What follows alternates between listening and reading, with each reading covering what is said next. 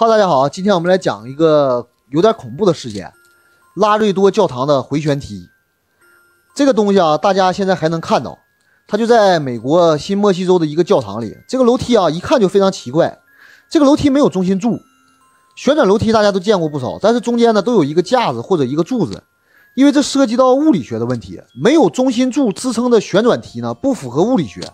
你没有中心柱，就没有东西能支撑它。很多建筑学的教授啊，都来看过这个，对这个楼梯的评价就是不合理，因为它不符合建筑学原理。那这个楼梯是谁建的呢？没人知道。而这个教堂是一八七二年的法国建筑师安东尼穆利设计的。当这个教堂设计好之后呢，这个栽楞的设计师就发现没建楼梯，所以二楼他上不去。修女就跟这个栽楞的说：“麻烦你再给我设计一个楼梯吧。”过了没几天，这个设计师呢就因病去世了。接着奇迹的故事就来了。修女啊，你们也知道，遇到问题就要祈祷找上帝。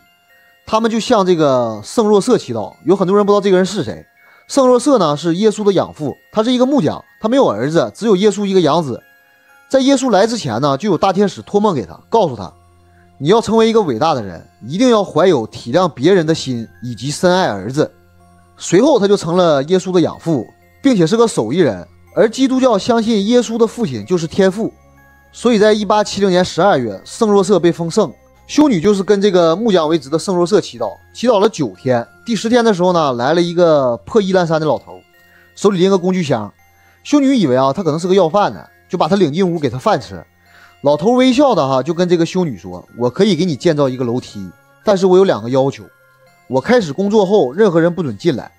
第二，不可以有人窥探我建造的过程。”修女也不知道为什么，就答应了这个老头的请求。过了几个月啊，修女不知道建没建好，就在外面喊，想询问一下工程的进度，但是没人搭理她。修女就试探性的开门进去后，发现楼梯已经造好了，老头也消失了。修女不懂建筑啊，她就想感谢这个老头，就想到造楼梯肯定要用木头，就赶到当地的木材商店询问，这才发现啊，这个老头从来没有买过材料。卖木材的啊，听到这个事儿也感觉挺神奇的，就跟着回教堂看了一下。结果他发现，整个楼梯所有的载重全是依靠扶手，旋转的角度在二百六十度左右，高度六米，整个楼梯没有一根钉子或者粘合的痕迹。材料就更神奇了，是一种叫黄松木的材料，但当地根本没有这种树。修女一听，难道真的是神迹吗？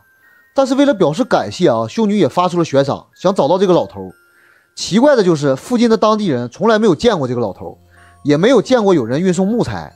也没有听到过任何敲击或者奇怪的声音，修女就认定一定是神派来的工匠为他们打造了这个神奇的楼梯。现代也有很多建筑学家去研究过这个楼梯，结论都是无法复制，不符合建筑学原理。简单来说，钉子或者铁制品是一定要用到的，但是这个楼梯呢没有，就说明造这个楼梯的人用了一个什么办法代替了钉子和铁制品，这就更让人无法理解了。我个人觉得啊，能做到这个的啊，中国绝对有一位。就是鲁班。